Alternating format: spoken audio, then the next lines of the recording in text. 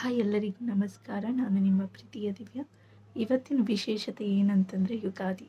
ಯುಗಾದಿ ಎಲ್ಲರೂ ಆಚರಣೆ ಮಾಡ್ತಾರೆ, ಬಟ್ ಇದರ ಇತಿಹಾಸ ಏನಿದೆ ನಾನು ನಿಮಗೆ ತಿಳಿಸ್ಕೊಡ್ತೀನಿ.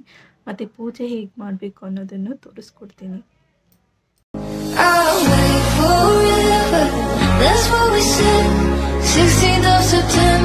I'll wait forever. That's what we said. 16th of September. So ಇದು ಹಿಂದಿನ ಕಾಲದಿಂದನೂ ಪುರಾತನ ಕಾಲದಿಂದನೂ ನಡ್ಕೊಂಡು ಬರ್ತಿದೆ ಯುಗಾದಿ ಆದರೆ ಇದರ ಇತಿಹಾಸ ಯಾರಿಗೂ ಗೊತ್ತಿರಲ್ಲ ಸೊ ಇವತ್ತು ಶ್ರೀರಾಮಚಂದ್ರನ ಪಟ್ಟಾಭಿಷೇಕ ನಡೆದಿದ್ದ ದಿನ, ಹಾಗೆ ನವರಾತ್ರಿಯ ಒಂಬತ್ತು ಅವತಾರ ಅವತಾರ ಅಂದರೆ ದುರ್ಗಾದೇವಿ ಅವತಾರ ಇದು ಒಂಬತ್ತು ಸೊ ಇದು ನವರಾತ್ರಿಯ ಚೈತ್ರ ಮಾಸ ಅಂತಲೂ ಕರೀತಾರೆ ಮತ್ತು ಮಹಾರಾಷ್ಟ್ರದಲ್ಲಿ ಈ ಹಬ್ಬನ ಗುಡಿ ಪಾಡ್ವ ಅಂತ ಕರೀತಾರೆ.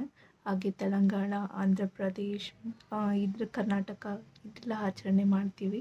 ಕರ್ನಾಟಕದಲ್ಲಿ ನಾವು ಯುಗಾದಿ ಅಂತ ಕರಿತೀವಿ. ಯುಗಾದಿನ ಇನ್ನೊಂದು ಹೆಸರಲ್ಲಿ ಏನಂತಂದರೆ ಯುಗಾಡಿ ಅಂತಲೂ ಕರೀತಾರೆ.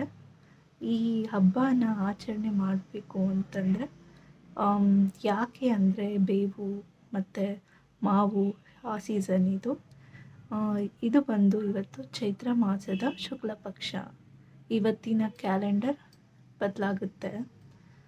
ಮೊದಲನೇ ದಿನದ ಆರಂಭ ಅಂತಲೂ ಕರೀತಾರೆ. ಕ್ಯಾಲೆಂಡರ್ ಚೇಂಜ್ ಆಗುತ್ತೆ. ಇದನ್ನು ಮಾಡಿದವರು ಹಳೆ ಕಾಲದ ಮಹಾರಾಜರು. ಅವರು ಕೂಡ ಈ ಹಬ್ಬನ ಆಚರಣೆ ಮಾಡ್ತಿದ್ದಾರೆ. ಮತ್ತು ಬ್ರಹ್ಮದೇವರು. ಸೊ, ಬ್ರಹ್ಮದೇವರು ಅಂದರೆ ಇವತ್ತಿಂದ ಅಂದರೆ ಈ ಯುಗಾದಿ ಹಬ್ಬದ ಸೃಷ್ಟಿ ಮಾಡ್ದಿರೋರು ಅವರು ಕೂಡ ಮತ್ತು ನಾವು ಯಾವ ಯಾವ ಥರ ಆಚರಣೆ ಮಾಡ್ತೀವಿ ಯುಗಾದಿ ಹಬ್ಬ ಅಂತಂದರೆ, ಒಂದು ತಟ್ಟೆಯಲ್ಲಿ ಒಂದು ಬೇ, ಒಂದಷ್ಟು ಬೇವಿನ ಸೊಪ್ಪು, ಬೆಲ್ಲ ಇಡಬೇಕು, ಮತ್ತು ಮಾವಿನಕಾಯಿ, ಮತ್ತು ಬೆಲ್ಲ, ಮಾವಿನಕಾಯಿ ಜೊತೆಗೆ ಹುಣಸೆ ಹಣ್ಣು ಸ್ವಲ್ಪ, ಮತ್ತು ಕರಿಮೆಣಸು ಇದನ್ನೆಲ್ಲ ಇಟ್ಟು ದೇವ್ರ ಹತ್ರ ಪೂಜೆ ಮಾಡಬೇಕು. ಇವತ್ತಂತೂ ನನಗೆ ತುಂಬ ಖುಷಿ ಆಯಿತು. ಯಾಕಂತಂದರೆ ದೇವರು ಇವತ್ತು ನನಗೆ ಪ್ರಸಾದನ ಕೊಟ್ಟರು ಅಂದರೆ ಹೂವಿನ ಪ್ರಸಾದ. ನಾನು ನಿಮ್ಗೆ ಅದನ್ನು ತೋರಿಸ್ಕೊಡ್ತೀನಿ. ಮತ್ತು, ಆ ವಿಡಿಯೋನ ನೀವು ನೋಡಬೇಕಾಗುತ್ತೆ. ಆಗ ದೇವರ ಶಕ್ತಿ ಏನು ಅಂತ ನಿಮಗೂ ಗೊತ್ತಾಗುತ್ತೆ.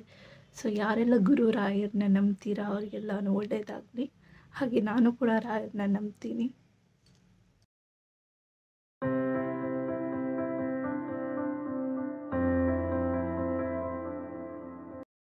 ಇದು ನಾವು ನಮ್ಮ ಮನೆಯಲ್ಲಿ ಪೂಜೆ ಮಾಡ್ತಾ ಇರೋದು. ಇಲ್ಲಿ ನೋಡ್ಬೋದು ನೀವು, ಎಲೆ ಮೇಲೆ ಅಡಿಕೆ ಇಟ್ಟು ಒಂದು ರೂಪಾಯಿ ದಕ್ಷಿಣೆ ಇಡಬೇಕು, ಹಾಗೆ ಇಡಬಾರ್ದು ಎಲೆನ. ಇಲ್ಲಿ ನೋಡಿ, ಗುರು ರಾಘವೇಂದ್ರ ಸ್ವಾಮಿ ಹೂವನ್ನ ಕೊಟ್ಟು, ಪ್ರಸಾದ ಕೊಟ್ಟಿದ್ದಾರೆ. ತುಂಬ ಖುಷಿ ಆಯಿತು ಇದನ್ನು ನೋಡಿ. ಇದು ನಮ್ಮ ಮನೆಯಲ್ಲಿ ಪೂಜೆ ಮಾಡಿದ್ದು ಈ ರೀತಿ ಅಲಂಕಾರ ಎಲ್ಲ ಮಾಡಿ ದೇವರಿಗೆ ಪೂಜೆ ಮಾಡ್ತಾ ಇರೋದು.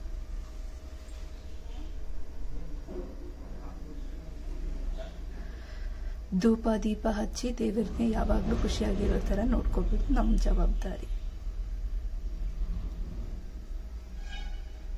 ಇಲ್ಲಿ ಮತ್ತೆ ಹೂವು ಕೊಟ್ಟಿರೋದು ವೆಂಕಟರಮಣ ಸ್ವಾಮಿ. ನಾನು ತೋರಿಸ್ತೀನಿ ನೋಡಿ. ನೋಡಿ, ಇದೇ ಹೂವನ್ನ ದೇವರು ನಿಮಗೆ ಪ್ರಸಾದ ಕೊಟ್ಟಿದ್ದು ಮತ್ತೆ.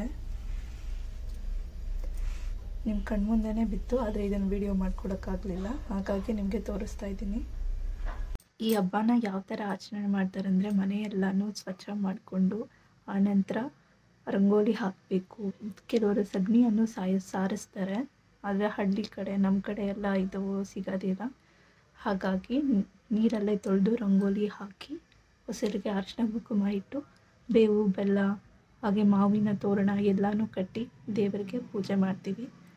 ಹಾಗೆ ಇವತ್ತು ನಾನು ನಮ್ಮ ಮನೆ ದೇವ್ರಿಗೆ ಹೋಗಿ ಬಂದೆ ಇದರ ಇತಿಹಾಸನೂ ನಾನು ನಿಮ್ಗೆ ಹೇಳ್ತೀನಿ. ನಮ್ಮ ಮನೆಯಲ್ಲಿರುವ ದೊಡ್ಡಮ್ಮ ದೇವಿ ಅಂದರೆ ನಮ್ಮ ಮನೆ ದೇವರು, ಹೆಣ್ಣು ದೇವರು. ಅವರ ಸನ್ನಿಧಾನದ ಹೋಗಿ ವಿಸಿಟ್ ಮಾಡಿ ಬಂದೆ. ಮತ್ತು ಅದು ಒಂದು ಹಳೆ ಕಾಲದಿಂದನೂ ಇದೆ ಆ ಶಿಲೆಗಳು. ಅದಕ್ಕೆ ನಾವು ವರ್ಷ ವರ್ಷವೂ ಪೂಜೆ ಮಾಡ್ತಿದ್ವಿ. ಈಗ ನಾನು ಆ ವಿಡಿಯೋನು ತೋರಿಸ್ತೀನಿ ನಿಮಗೆ ನಾನು ಹೋಗಿದ್ದು.